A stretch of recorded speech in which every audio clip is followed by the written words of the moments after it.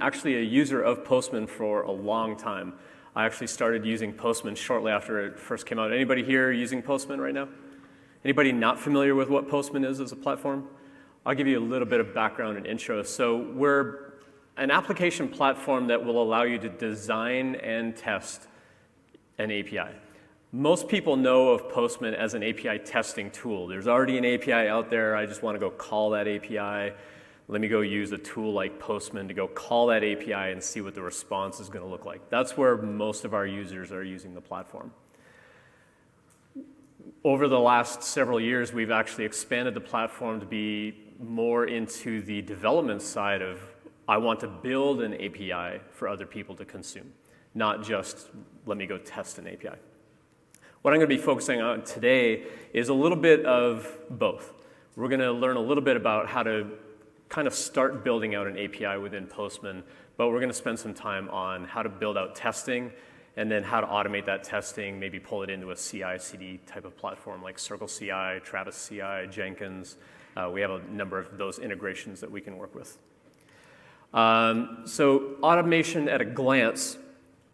Most people that, that use Postman right now, they're using it to basically build what we call a collection which is just a collection of all the different types of requests that you could make to an API.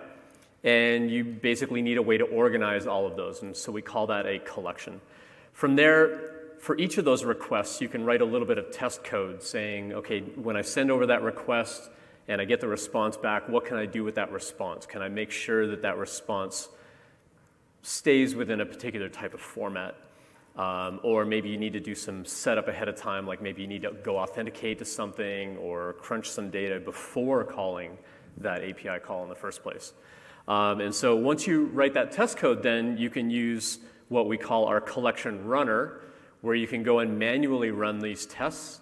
But we're going to learn today about how to automate running that so you're not sitting there clicking a button every time. So we have a couple of command line tools you can use. Uh, we've got a newer one that came out last fall when we released version 10 of the Postman product, and it's called the Postman CLI. The older one that we have is uh, kind of a community developed version of a command line interface called Newman, and it is named after the Seinfeld character. Um, since, you know, Postman, you know, Newman is the postal carrier in, in the Seinfeld show. That's where Newman got his name. Um, and so we're going to take a, a, quick look at how to run your collection tests in both Newman and the Postman CLI. And then we're going to look at uh, a few steps on how to automate that in a CI CD platform. Uh, for those that are here at the conference today, um, I do have some really cool swag. I've got some Postman socks, if anyone's into like really colorful socks. I've got a few of these, got plenty of stickers to hand out. Um, so if you currently use Postman, and you want to like show off what you do in Postman, I've got a few pairs of socks, so while, while supplies last. Um, and if you can really wow me and knock my socks off, uh, I do have a mini drone to give away. So uh, come, come, come find me later and uh, show me what you got in Postman. Um, so what I'm going to demonstrate today, I'm going to go through kind of the Postman interface. I'm going to go through some command line stuff as well. I'm going to show you a dad joke generator API that I built about a year ago. So if you, uh, if you love dad jokes as much as I do, uh, then hopefully you'll get a kick out of this. Uh, by the way, what's the best time of day to go see a dentist? 2.30. All right, this is the kind of joke that I just want to prepare you. These are the kinds of jokes that we're going to be uh, seeing on the screen here. Um, but I'm going to show you how I pull an Open API or a Swagger API spec into Postman, and then how we can kind of get started building a collection out of that, how we can start with some testing, do the command line tools, and uh, get into CI CD. All right, so let's get started here. Um, I'm going to start with uh, the actual Postman interface. Now, I'm using the desktop application, and we'll zoom in on this a little bit. Um, if you want to follow along, uh, either you know currently or after the fact, if you're watching the video later on, uh, you'll be able to search the Postman uh, interface up at the very top. So whether you're in the desktop version or the browser version, we try to maintain the feature parity here. Um, and so you'll have the search bar here at the very top, and you can just search for automating API testing, look for the thing made by me, and uh, you'll find all these notes. And so this is going to even give you the GitHub repo of the awful dad jokes that I'm going to share with you today, um, but also kind of all the different links uh, that we have going on for how to use all these different tools, like the command line tools and how to uh, do CI/CD and so on. So let's dive in. The first thing that I've done is I've, I've already imported my OpenAPI specification here. So this is just a, a kind of a simplistic API interface. Most, interfa- or most APIs are going to be way more complex than this. I've just got kind of a simple sort of heartbeat. Is my API up and running? It's just on a hello endpoint. And then a, you know, a, a, typical API endpoint that we might see might look like API v1 and then a path of some kind. So I'm just doing a couple of GET requests here, and this GET request is go get a joke. So this is where we're going to get started. So if your organization is already building out an API, maybe you've already written some code, there are a lot of open source tools out there that will allow you to take existing code and kind of figure out what these endpoints are going to be, and it can generate an open API specification or a Swagger specification. Or depending on the kinds of tools that you use to do the development, it may come up with a specification for you. Either way, you can import that specification into Postman, and then you can get started with automating a lot of the testing and so on that, uh, that we're going to take a look at today. So we won't, we're not going to go through like step by step everything inside OpenAPI here. But the first thing that we need to do is we need to go build a collection out of this. So over here in the context bar on the left side, I'm currently in the APIs area. What I'm going to do is I'm going to go up to my collections and I need to create a collection. So before you can really do any of this in Postman, you've got to be logged in and you need to make what we call a workspace. And that workspace will allow you to build out an API, build these collections. You do need to be logged into Postman uh, in order to save this because it does synchronize on the Postman servers in the cloud. Um, we have a free plan that's very generous as far as the quotas, but we're going to talk about what some of these quotas and rate limits are going to be as we get into the testing as we go. So the first thing I need to do is actually create a collection here. And so I'm going to call this collection dead jokes. And then from here, we can start adding requests to our collection. So the first one, I'm just going to call my heartbeat, and that's just my hello endpoint. And that's going to go to localhost. I currently have my API running locally on my laptop, and that was just a hello endpoint. Uh, now I'm a big fan of uh, keyboard shortcuts. So if you're on a Mac, Command Enter. If you're on a Windows PC or Linux PC, Control Enter will automatically send that over, so you don't have to like go over with your mouse and actually click on that send button, but you, you certainly can. And this is just giving me back a, a, simple payload here that says hello world. So that way I know that everything's working okay. So I'm going to save that uh, request. I'm going to come over here, I'm going to add one more. So I'm going to hover over my collection, click on three dots, and I'm going to add a new request and this is going to call get a joke. And in here, this is going to be the same localhost path, but in this case, I had API v1 joke. If I send that over, uh, I can't take my dog to the pond anymore because the ducks keep attacking him. That's what I get for buying a purebred dog. All right, thank you. took, took, took a minute, took a minute. All right. Um, I, I, warned you ahead of time, these jokes were going to be awful. Um, so we know that this endpoint works. And so what we can do now, now that we know that these endpoints are working, now we can get into writing a little bit of test code. And so inside the interface, we have uh, pre-request scripts. Um, and so we've got these two areas here. The pre-request script is basically any code that you want to execute before you call this API code. And this could be things where you need to do some authentication ahead of time. Maybe you need like a JSON web token. Maybe you need some sort of OAuth setup. Maybe you just need to go find some random data, or if you want to chain a whole bunch of API commands together, your pre-request script here can say, go call this other API or go do this other work. Now go get this awful dad joke and then go do something. Um, but we're mostly going to hang out in the test tab here, and this is where we're going to write some tests. So the nice thing about Postman is we have a whole bunch of pre-written snippets of code down here uh, where we can kind of get a, a, head start on how to write some tests. Now, in Postman, we actually implement the Chai library. If anyone has done behavior-driven development or behavior-driven testing in Chai.js, uh, that's built into Postman. And so we can, we can get into a lot of expectations and assertions and so on as we build out these tests. And we do a lot of this in these snippets here. So the first thing I'm going to do is I'm going to say, let's expect to get back a 200 code. And so the PM is just our postman object, and we're saying I want to start a test. This first string is just what you want to name the test itself, and we're basically saying I expect that my response is going to have a status of 200. Now, at any point when I'm writing out this test code, if any line of this code fails, it stops execution. It won't run anything after it. Same as a typical sort of software test. And so what I'm going to do is I'm going to add some more testing underneath this that as long as we get a 200 status code, it's going to execute the rest of it. But if we don't get a 200 status code, it's going to stop executing here and it won't run any additional code. So the first thing I'm going to do is I'm going to unpack that response a little bit. So I'm just going to grab my response and unload that as JSON. And this is just going to deserialize the JSON into a JavaScript object, and then we can interact with this. If you're familiar with the JavaScript language, you can interact with this um, using the chai library. So we can do things like I want to expect that my response uh, to have a property called data. So if we go back and we look at the response, we actually see it's an object, and we expect that that object has a key called data, and so that's going to be the first thing that I check for.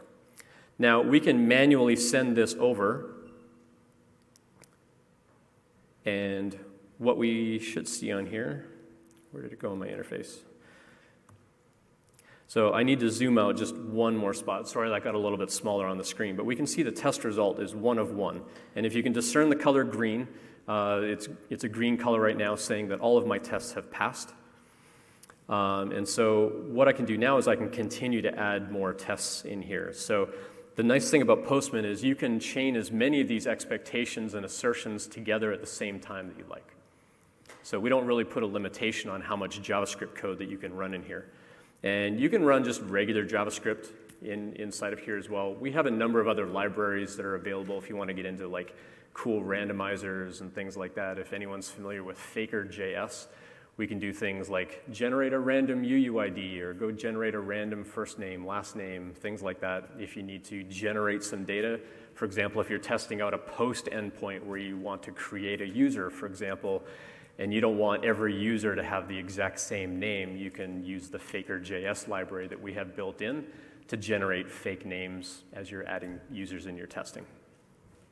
So I'm going to do one more here. So now that we know that my response has an element called data, I can say I expect that my response.data now to have a property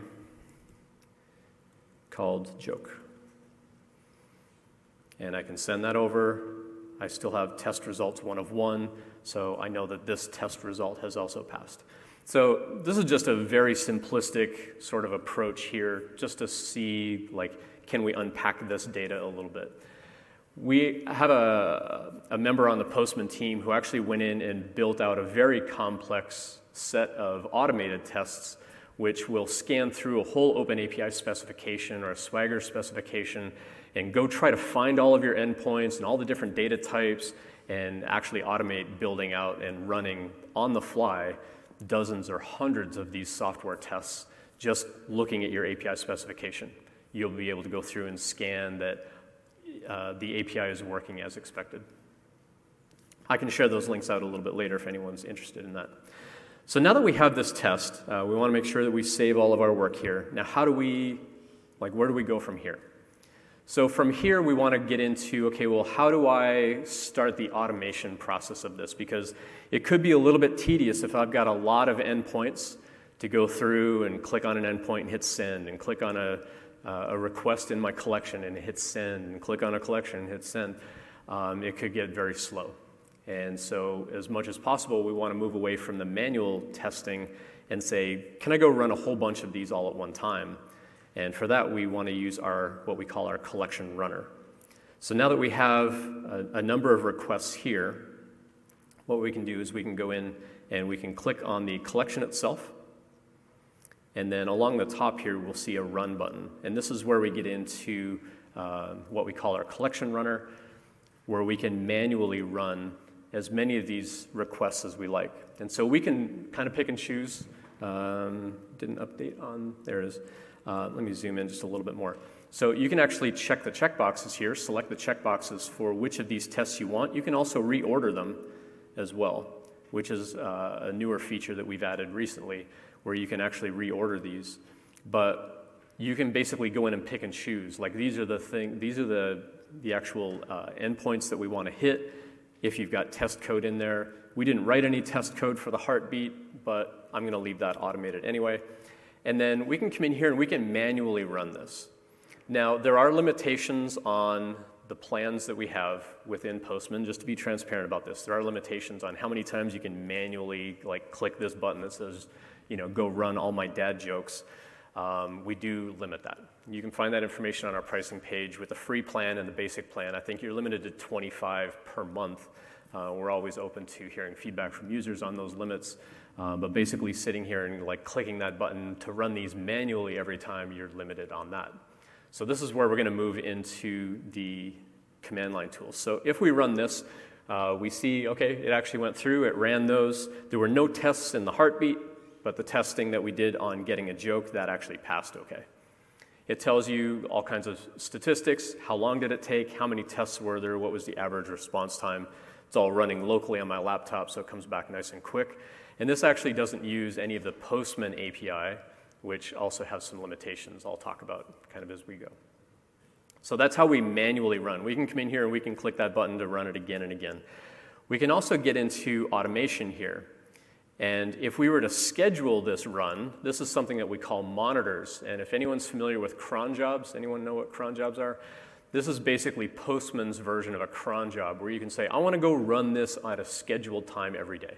I want to know that this is running all the time. Now, the frequency of how often you run this, again, the monitors have a limit uh, that you can execute these over a month. Um, but you can basically come in and you can, you can give it pretty fine granularity as far as how frequently you want it to run. So, for example, you can come down here, you can give it a name, and you can say, you know, on a per minute timer, I want to run every five minutes, 10 minutes, 15 minutes, and so on. Um, if you go into the hour, you can say, I want to run every hour, two hours, three hours, four hours. Um, or you can get into a daily, or, uh, sorry, the week timer then will give you options about do you just run want to run Monday to through Friday? What time of day do you want to run it? And that sort of thing. And there are links on here as well for the resource usage um, if you actually want to get in and see what your resource usage is. So let me shrink this over here so you can see that more of that interface. Um, you can also tell it how many times maximum you want to run. If you get into different environments, uh, I'll talk about this really briefly. Uh, you can pick which environment you want this to run. The environments would basically be if you want to build this out in a developer mode, a staging sort of platform, a production level platform, you can go in and you can set different environments where, for example, when I go call my joke API, am I hitting localhost? Am I hitting a staging server? Am I hitting a production server? We want to try to uh, make that as sort of generic as possible, where maybe we don't have the host name here. Maybe we turn that into a variable and we put that variable in our environment. So the actual base domain name that we hit is stored as a variable. So now in developer, in my development environment, I can set it to my local host. In a staging environment, I can set that host. And for example, we could just have a variable here called host or something like that uh, where now I can go build that variable. And then depending on which environment I actually want to run this in, it'll replace that part of the URL for us. So we allow for a lot of flexibility in, in that regard. So when you come into the runner, you can then pick that environment. Um, and then you can also specify, I want to get emails about this. Um, and if it fails over and over again, like stop bugging me, which is pretty handy if, uh, if you're in development mode and you run this on a regular basis, you don't want to get bombarded with emails, and so you can, you can tell it to stop. Um, we also allow the upload of, of uh, JSON data as well if, uh, if you're testing um, something where you, know, you want to test it with a whole bunch of users. You can come up with some pre-generated data that you want to feed into those tests, and then for each line of that data, we'll go run the test with, with all that. So we allow quite a bit of flexibility in the monitors in here. So that's all within the interface. Once this is scheduled to run, we take care of that on the Postman cloud. You don't need to really come in and, and manage that. It'll just run. You can come in and shut it off at any time. But let's talk about how to do this on the command line. Because as I mentioned, when we come in here and we manually click that run button, um, it does use up uh, an amount of quota and some rate limiting that we have on there. And so we have uh, two command line tools that we can use. So the one that has been around the longest is called Newman. And what we can do with Newman is we can say, Newman, run, go run this collection. Now, the caveat with that is to get around some of the limitations on actually calling the Postman API, you can actually export your collection as a local file, and then you can run Newman as much as you want. So when we came in and we were looking at that interface that said, I want to manually run those tests, you're limited to 25 per month. But if you export that collection, you can run Newman as often as you want on your local system. So what I'm going to do is I'm going to come up to my collection, and on the collection itself, where I have dad jokes, I'm going to click on the three dots here, and I'm going to tell it that I want to export this.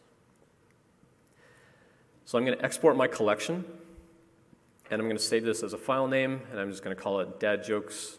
I'm just going to leave that file name as is. It landed in my downloads directory. So now what I can do is at the command line, I can say Newman run downloads dad jokes postman collection. And what we're going to see here is okay, it went and it ran all that. There were two requests. I ran one iteration of those tests, and only one of them had a test. None of them had pre request scripts and we had uh, some assertions that ran, everything ran properly. It gives us a little bit of statistics here. Now, as far as the reporting, you can customize these reports a little bit. Uh, by default, we'll put some color in the, in the ASCII in the output here. Um, but when you're getting into a CI/CD platform, uh, being able to put this into a shell script is, is fine. But our Newman tool and our Postman CLI tool will also set sort of the Unix exit uh, variable that will tell you whether it passed or not. And that's what a lot of CI/CD platforms will use to determine whether something passed or failed. So if you're used to doing other software testing, like running PyTest or uh, running, say, Ruby or JavaScript testing, um, there's going to be some sort of exit code that that operation is going to tell you whether or not that succeeded. And the Newman tool and the Postman CLI tool will both do the same thing. And so you can actually halt your CI CD platform if these tests don't pass. One question that I get a lot, though, is if I'm building out my software and I'm doing proper software testing, why do I need Postman? If I'm building out an API and I'm actually coding up my dad joke API in Python and I've got test code for that, why do I also need Postman? And the answer to that is just another level of confidence that my API is working. When I'm doing software development, I'm typically doing something like unit testing where I want to make sure that can I go grab that joke properly out of my little database? Is that working okay? But I'm not really typically testing things from the user's perspective, which is what we call behavior testing.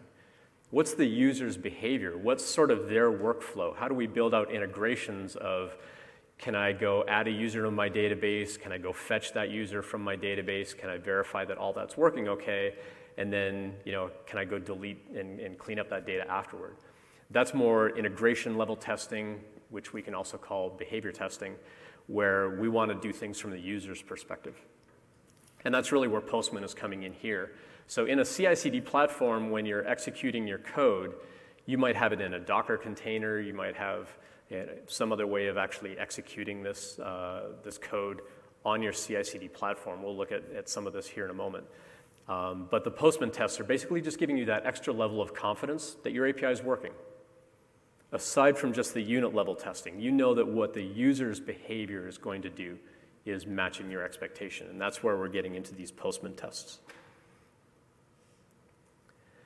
So let's go back to Postman here for a moment. Um, so when we, when we get into the testing here, like I mentioned, we've got a lot of different snippets in here where we can uh, access our variables. We can maybe save this data as variables or extract part of the joke, and we can, uh, we can export it down here to our console.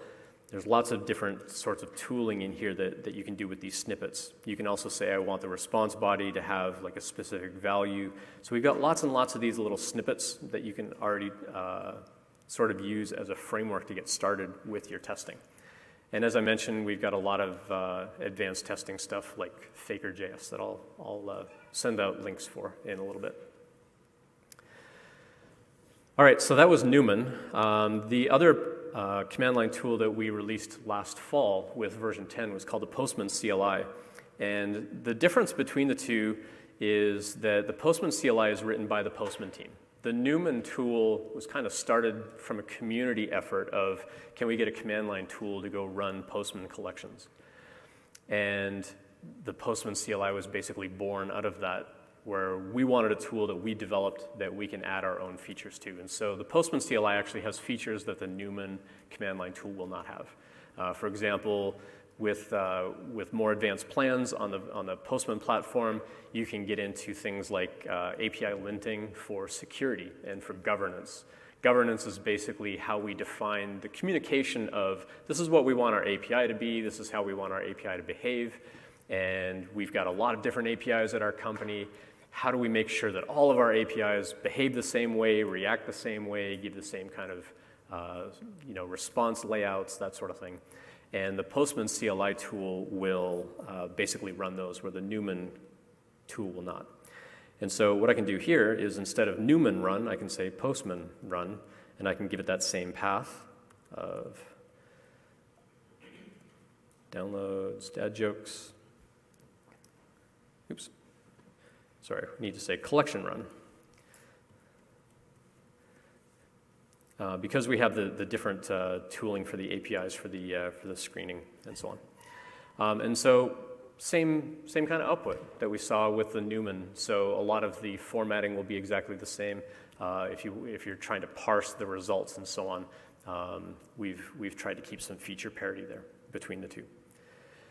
Um, some of the other differences with the Postman CLI is we've tried to make it a lot friendlier as far as logging in and logging out. And so we actually have this Postman login, and this will actually jump you over to a browser and have you log into the Postman uh, application. And this will use the Postman API. Um, now, the nice thing about using the command line features here, especially when you're getting into um, something like a, like a CI/CD platform, is you may not always have the flexibility of how do I make sure these collections are already sort of pre-exported in a way that I can just run Newman or run the Postman CLI. There are ways that we can synchronize that. We'll take a look at that in a moment. Um, but you can also use the Postman API to go fetch these things as well. Now, what you saw me do earlier was just export the collection out of Postman if you're building out those environments like we talked about, like your development environment and your staging environment, you can also export those environments as local files as well. Um, but we can also do all of this on the command line. I'm just going to show you an example of how to do this with Newman. Um, I won't actually run this one, but for example, you could store some, let me make this a little bigger on the screen for you. You can actually store some of this data as uh, environment variables. So for example, maybe I have my Postman API key in here. And so what this first URL is doing is I'm saying, hey, Newman, go run this. And what this is doing is it's, it's actually using an environment variable for my collection ID, and I'm fetching it using my Postman API key. And so I can go get a Postman API key and tell Newman, like, hey, I don't want to export this stuff. So that way, if my team is going in and they're making changes all the time, I just want to run Newman, and I want Newman to go fetch whatever the last change was. And so we can actually use the Postman's uh, API, Postman API, to go fetch that data dynamically. So you don't have to constantly export this stuff and worry about synchronizing those files everywhere.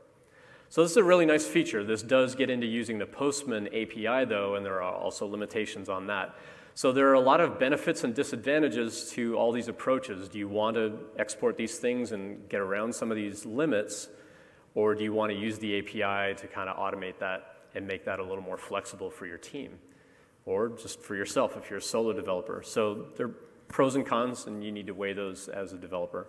Um, but you can also set things like global variables and so on um, in this particular case, this was a weather API where I was trying to fetch, you know, what's the weather back in Denver. I was lucky enough to hit this ice storm on the way out of Denver. Now I'm hitting it here in Detroit, and I'll hit it again when I fly back home. Uh, so lucky me. Um, but you can pass variables into Newman. You can also pass these variables the same way to the Postman CLI. Newman has been around the longest, and so you'll find a lot of tutorials out there on how to use the Newman command line tool. The Postman CLI tool is very similar as far as feature parity, and so you'll find they're, they're going to be very interchangeable as far as the command line parameters and so on for passing these variables, fetching things dynamically, how to use your Postman API key, and so on.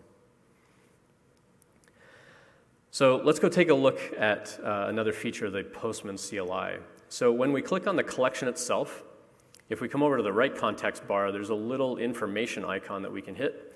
And this is where we actually have a collection ID value. And I just clicked on a little button on the side here that copies that over to my clipboard. And what I can do is at the command line, I can say Postman collection run, and I can actually paste in that ID.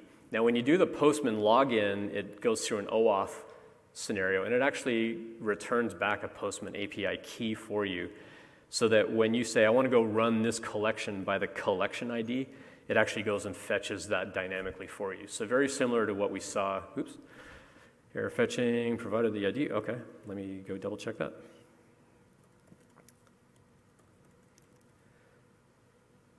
That is the collection ID. Why didn't that work?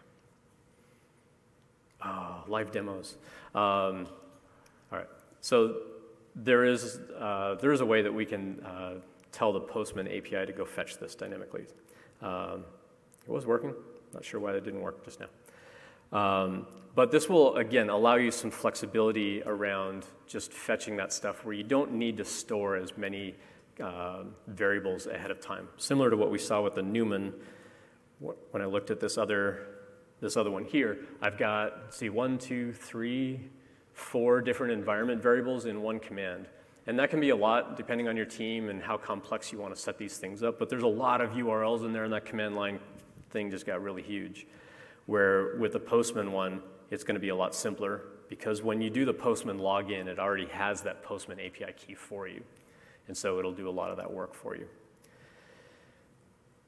So let's take it one step further. So we talked about how do we build a collection, how do we add some tests, how do we manually run this, where do we go from here? Well, we can go grab our own Postman API key, and this is typically going to be used within a CI CD platform. So I'm going to show you a little bit of Circle CI.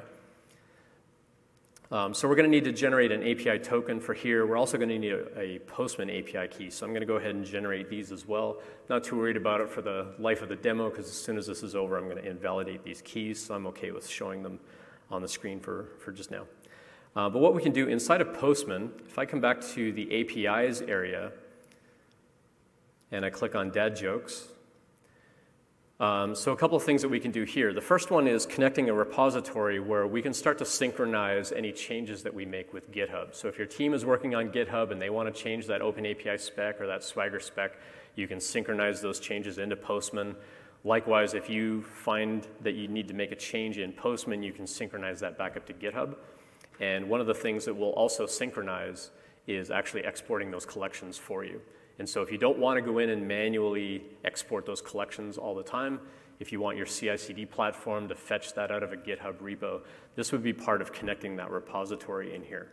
This will go through uh, a whole OAuth thing of OAuth into GitHub, make sure it has access to your files, and this will allow Postman to sort of talk to GitHub on your behalf using your OAuth token in order to push work up to your repository. What we're going to get into here, though, is actually testing this out. And so you'll, you'll see over here we've got a number of uh, integrations for deployments, for API performance, if you want to get into tools like New Relic or Datadog, um, or what we're going to focus on right now is the testing and the automation. So to get here, again, I went to the APIs icon in the left context bar. I clicked on the API itself, and now we're going to go over here to test and automation.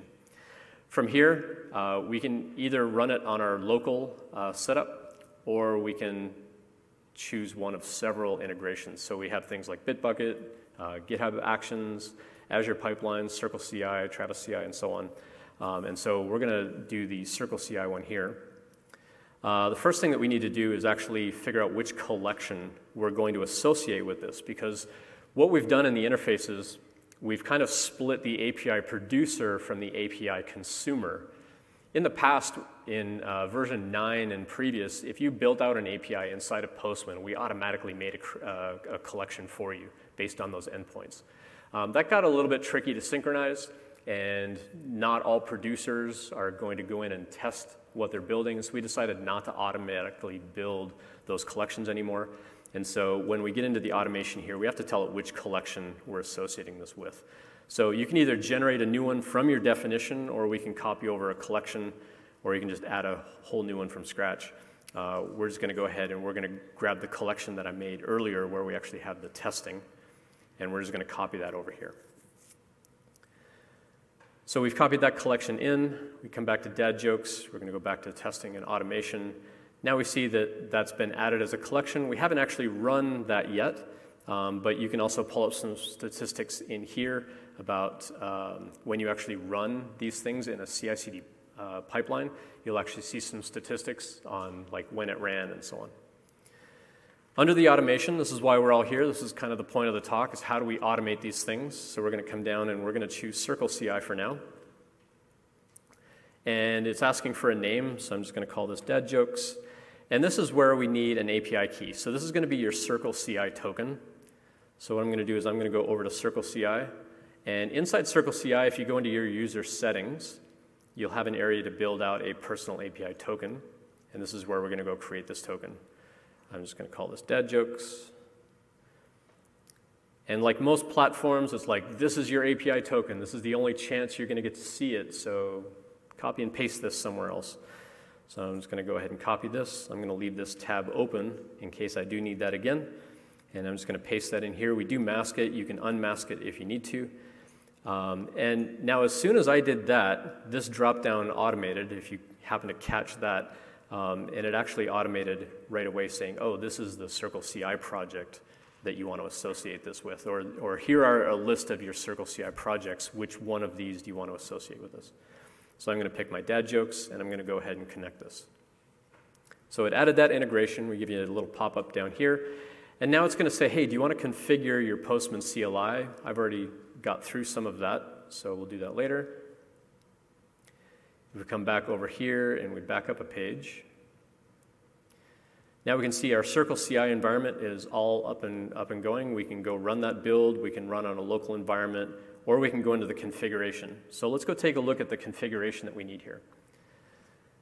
So again, this is where we can pick which environment we want to use. So on a Circle CI, for example, that's probably closer to a staging environment, so you may not want to use a development environment. But depending on how you're actually testing out your work inside your CI platform, you may have this running in a Docker container, for example, and that may still be running on a local host type of uh, username. So again, you can build all of these things as Postman environments and tell Circle CI which of these environments you want to use. In this case, we don't have any environments. It's all kind of set in our uh, thing right now, so I'm going to leave that alone. Now, the governance and security, this is an enterprise option, so um, I imagine most of you will turn this off since it won't be applicable unless you're on an enterprise plan. Um, but this would be where you're actually going through and doing API security scanning. Now, we do offer uh, free API scanning for the OWASP top 10 for APIs. This is something that we wanted to make sure was available to all customers of Postman and not just people that had money to spend on an enterprise plan. And so we will help you scan your API for common vulnerabilities. So you can leave this on if you want, but it won't do any governance checking. The governance, again, is checking around, you know, do our URI paths match what we want to conform to as a company, for example? So I'm going to leave that off for now. Um, we're going to have it run on a Linux environment within Circle CI, and then here's your configuration file. It gives you everything that you need for Circle CI, and this is part of working with these partners to integrate these things. Is we can literally copy and paste this, and we've got this ready to go. It's going to download the Postman CLI uh, tool and it's going to log in with the API key. Now, it's expecting the API key here as an environment variable. And so I'll show you how to do that really quick. Um, but what this is going to do is it's going to force a login using an API key, and then it's going to go do the Postman collection run um, with uh, a particular Circle CI. And the integration ID here is basically so that you can get the results back inside of Postman. So it will allow you within Postman to say, go run Circle CI. So you don't actually have to go deploy code. You can just say, go spin up a test on Circle CI or Travis CI or whichever CI CD platform you're using uh, with our integration partners. You can just go into Postman. You've got one spot where you can say, go run that thing, tell me if it worked. So we wanted to make that as easy as possible. Um, but it's going to expect that you've got this API key as an environment variable on Circle CI. So let's go build that real quick, uh, which means I need a Postman API key. So on this other tab, I'm going to go generate a new API key, and we're just going to call this dad jokes. And again, it's saying this is the only time we're showing this to you, so make sure that you save a copy. I'm going to leave that tab open for a moment as well. And then back over on Circle CI now, I need to actually go um, build an environment variable for my project. So I'm going to close out my API tokens here. I'm in my dad joke uh, project. And what I want to do is I want to go into my project settings. And inside project settings, we've got a lot of different settings here. One of them is environment variables. Uh, and this is where we can build that thing called Postman API key. I currently had a value. I'm going to remove that one because I want to replace it with the API key that we just had. So I'm going to call this Postman API key, and I need to paste in a value, which looks like that one. So I'm going to go ahead and now add that as an environment variable. So back in Postman, what it was giving us for Circle CI was looking for this command or for this environment variable called Postman API key, which it designates with a dollar sign. And so this is basically from a, from a Linux command line point of view, it's saying go find this environment variable called Postman API key, pass that as a parameter here to the Postman login. Now using that API key, it's going to be able to go find our collection. And then the integration ID, this is basically uh, Circle CI workflow job ID, which also gets built dynamically. But this is going to tell it when I go run this from Postman, go grab the results and put those results back into Postman. So this is all we need. So I'm going to come in here and I'm going to grab all of this as my configuration. And I should be able to come over here to Circle CI. Actually, I don't need to do anything on CircleCI. I should just be able to do everything from inside of Postman. So we've got everything we need. I, uh, if you need to generate a new Postman API key, you can do that from here. You don't have to go into the other interface. I just did that for the sake of convenience. So now that we've got all of that built out, we can back up a page. Let's go back over here. Go to our, oops, where'd it go? Here we go, test and automation. And now we can come in here and we should be able to run this build. It's asking which branch. Um, oh, sorry, it's the local one here that we want. No, that's not the one that we want either. Um, sorry. Bad demo. We'll lighten the mood with some dad jokes here in a minute.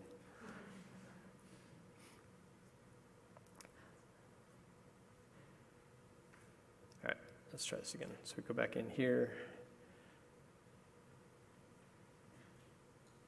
All right, for some reason it's not picking up my branch. I'll have to talk to the team about that. Um, no builds found.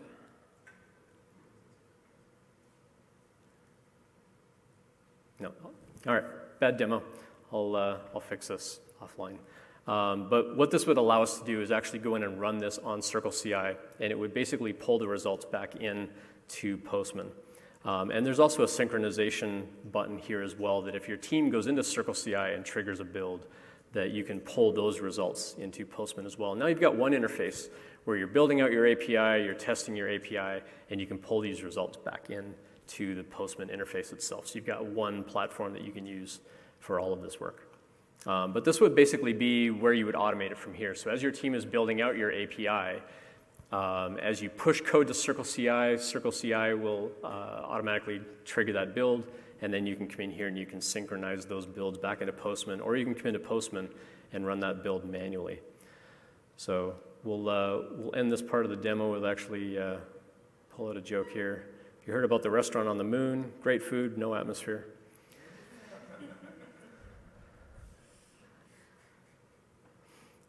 I wanted to go find some uh, Indian food last night when I got into Detroit, and they ran out of flatbread.